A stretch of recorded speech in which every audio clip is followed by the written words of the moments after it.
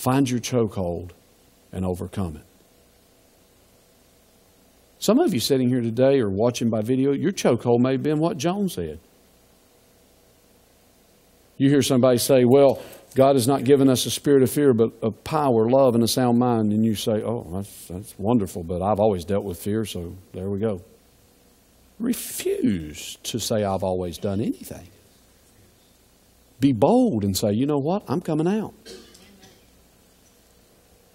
I'm getting out of this closet of fear or, or, or hurt or, or offense. Or, the biggest closet I had to come out of was anger. Does it ever try to come back on me? Of course it does. Fear of men. Does it ever try to come back on me? Yeah, I walked in it so many years. Dear Lord, I, that, that, that devil wants to die slowly, but he's dead. And that's what that's how you do it. You just start confessing. That's the way it is because the word of God said I can ask anything. We know for a fact. We know intellectually and we know in our spirit that God does not want us fearful. It's way too many scriptures for that.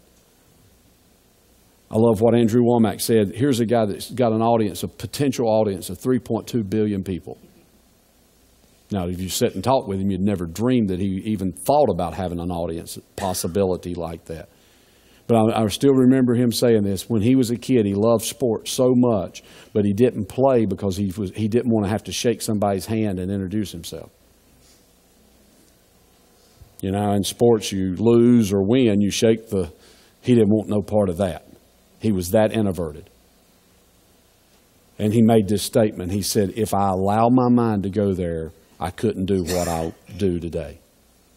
See, we don't allow ourselves to go there. Why? Because we're a child of God and we don't have a spirit of fear. And that's about anything in life. You may say, well, I, my, my, my chokehold is finances. I still, I still have a problem believing God wants to bless me. You get into Scripture and find out why He wants to bless you.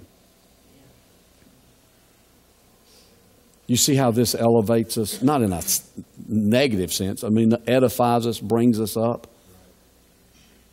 See, here's one last thing, maybe. It's all I got right at the moment.